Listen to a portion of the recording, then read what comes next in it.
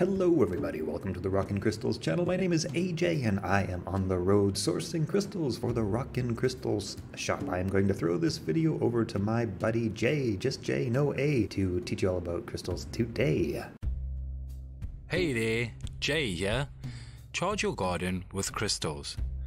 Gardening with crystals is nothing new with First Nation shamans and others from around the world using them for gardening for thousands of years. Different crystals represent the four elements of earth, air, fire, and water, which are believed to add balance and harmony to the garden.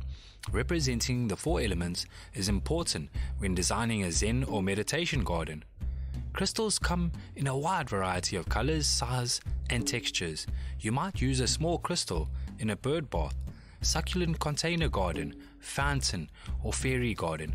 Large crystals can be placed throughout the garden or used to mark out garden beds or trails. You might even find a butterfly using the shiny reflective surface of a crystal to help warm themselves and dry the dew off their wings, just as they do with gazing balls. Another way to use crystals is to add an antique crystal chandelier or lampshade hung from overhangs, tree limbs, or pergolas. When the sun hits them, you'll get colorful rays out of light throughout.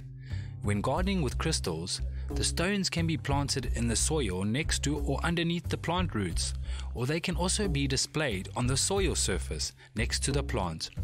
The following are just some of the crystals you might use in your garden. Citrine. This crystal symbolizes the energy of the sun. It helps to add a happy accent to beds or containers.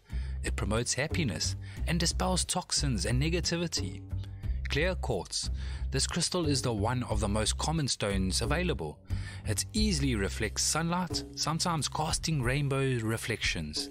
Clear quartz may help tomato plants resist pests and diseases, including blight. Green aventurine. This crystal can be used for birds or butterflies, baths, fountains, and container gardens.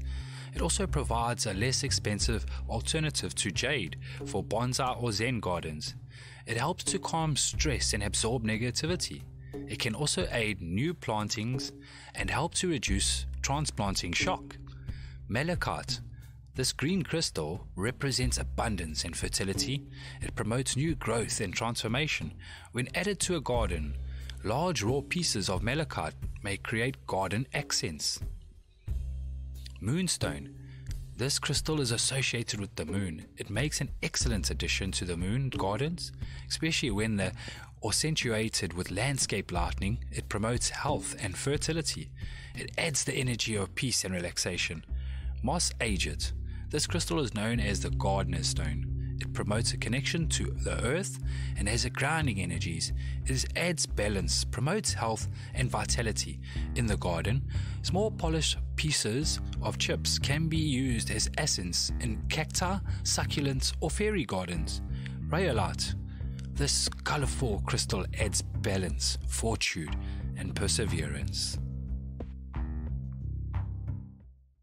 You can win a crystal by leaving a comment and letting us know what you love about crystals. Also be subscribed to this channel. We give away a new crystal with every video upload. If you're looking to buy crystals, we have some amazing deals available at our crystal shop. Link in the description below. Grab yourself a free copy of the Crystal Compendium, which has over 250 crystal definitions. Link in the description below. Join our crystal affiliate program if you'd like to make money selling crystals. We pay a 20 2% commission for referred sales. Enroll in our crystal healing course, link in the description below, along with a link to our affiliate program, and check out the Crystal Meanings app in both the App Store and Google Play Store for crystal meanings and definitions at your fingertips. It's absolutely free, pun intended, and of course, be subscribed to this channel because we learn something about crystals every single day, and who doesn't love learning about crystals? Okay, have a great day.